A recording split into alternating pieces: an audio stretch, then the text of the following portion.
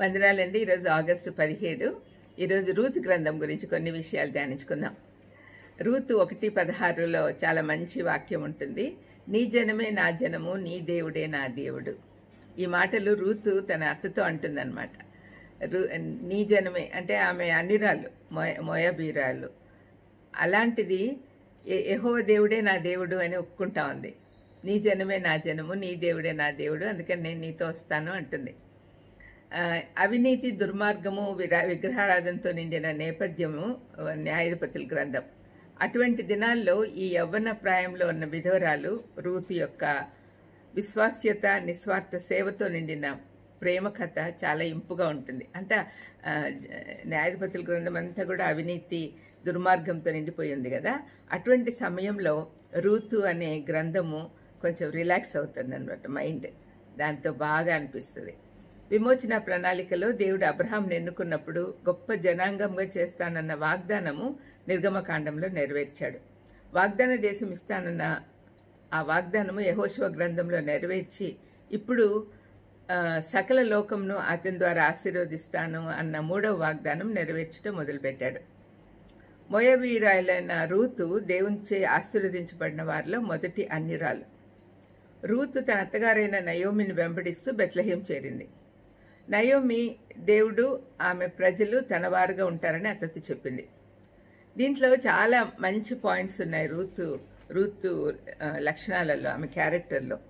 ఒక విధేయురాలుగా అక్కడికి వచ్చింది. రెండవ అధ్యాయం పదవ వచనంలో మనం చూడొచ్చు.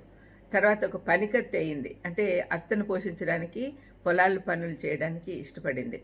రెండవ అధ్యాయం పదమూడు. బోయజును వివాహం ఆడింది. నాలుగవ అధ్యాయం పదమూడు.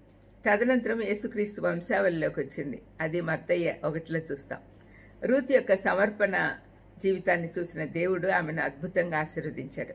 ఈ రూత్ గ్రంథము కేవలం నాలుగు అధ్యాయాలు ఉంది. దయచేసి చదవండి. చాలా ఇంట్రెస్టింగ్గా ఉంటుంది. అంటే ఒక ఒక విధవరాల్ని దేవుడు చూస్ చేసుకొని ఆయన ప్రణాళికలో ఉంచుకొని అంతేకాకుండా యేసుప్రభు వంశావళిలోకి చేర్చాడు. అది ఆమెలో ఉండే గొప్పతనం. న్యాయాధిపతులు ఏలిన దినంలో ఎందు రూతు కథ జరిగింది. అంటే యహోశివ మరణం నుండి రాజుల పాలన కాలంలో రూతు గ్రంథంలో ఏడు ప్రధాన దైవశాస్త్ర సిద్ధాంతాలు మనం చూద్దాం. ఎందుకంటే దీంట్లో దైవశాస్త్రం బాగా కనపడుతుంది థియాలజీ. అది సిద్ధాంతాలు మనం చూద్దాం. మొదటిది మోయాబీరాలైన రూతు ద్వారా దేవుని విమోచన ప్రణాళిక యూదులకే పరిమితం కాకుండా అన్నిలకు కూడా కొనసాగిందని తెలుసుకోవచ్చు. రెండవ అధ్యాయం పన్నెండులో.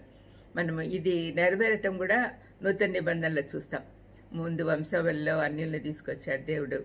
తర్వాత అపసుల కార్యం పదవ అధ్యాయంలో పేతురే స్వయంగా చెప్తున్నాడు యేసుక్రీస్తు అందరికీ ప్రభువు అని. అన్- అంటే దేవుడి ప్రణాళికలో కేవలము యూదులు మాత్రమే కాదు అన్యులు కూడా ఉన్నారు అనే విషయము రూతు ద్వారా మనకు ఫస్ట్ రుజువు అవుతుంది రెండవది దేవుని రక్షణ కృపలో పురుషులతో పాటు స్త్రీలకు కూడా స్వాస్థ్యం ఉంది అని చెప్పి తెలుస్తుంది. మూడవది సామెతలు ముప్పై ఒకటి పదిలోని గుణవతి అయిన భార్య పాత్ర రూతు పోషించింది. ఎంత గొప్ప విషయం కదండి. గుణవతి అయిన భార్య దొరుకుట అరుదు ముత్యం కంటే శ్రేష్టం అని అట్లా ఉన్నాయి కదండి. అదంతా కూడా ఈమెలో చూడొచ్చు మనం. నాలుగవది దేవుడు తన సార్వభౌమత్వంలో తన చిత్తం నెరవేర్చుటకు ఇహలోకపరంగా ఎన్నిక లేని వారిని ఎన్నుకొని సమయోచితమైన జాగ్రత్తలు తీసుకుంటాడని ఋతు ద్వారా మనం తెలుసుకోవచ్చు. మొదటి కొరింతీలో కూడా ఒకటి ఇరవై ఏడులో మనకు కనపడుతుంది. పౌలు చెప్తాడు ఎన్నికలేని వారిని దేవుడు ఎన్నుకుంటాడు అని. ఐదవది క్రీస్తు వంశావళిలో తామారు రాహాబు బెత్సబాలతో పాటు రూతు కూడా స్థానం సంపాదించుకుంది. ఆరవది క్రీస్తు ముంగుర్తుగా ఉన్న బోయజు రూతుకు సమీప బంధువై ఆమెకు విడుదల ఇచ్చాడు. నాలుగవ అధ్యాయం ఒకటి నుంచి పన్నెండు వరకు. యాక్చువల్గా ఈ సమీప సమీప బంధువు అనే కాన్సెప్ట్ మనకు ఫస్ట్ అక్కడే పరిచయం అవుతుంది. యేసుప్రభు మనకు సమీ సమీప బంధువు. అందుకనే మనల్ని విడిపించడానికి ఈ లోకానికి వచ్చాడు. ఆయన మన సహ- సహోదరుడు. ఆ విధంగా మనం అర్థం చేసుకునేదానికి అది ముందు ఒక నీడలాగా కనపడుతుంది. ఏడవది ఇజ్రాయెల్ సింహాసనంపై హక్కు దావీదు దావీదుకు ఆయన ద్వారా క్రీస్తుకు యూదా నుండి సం- సంక్రమించింది అని రుజువు చేయబడింది. నాలుగవ అధ్యాయం పద్దెనిమిది నుంచి ఇరవై ఒకటి వరకు. ప్రార్థన చేసుకుందాం.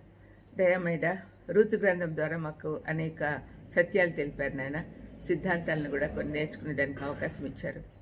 దయగలేసయ్య రూతులాగా మిమ్మల్ని ఫాలో అయ్యే బుద్ధి మాకు కమిట్మెంట్ మాకు దయచేయమని యేసుక్రీస్తు నామను వేడుకుంటున్నాను తండ్రి. ఆమె గాడ్ బ్లెస్ యూ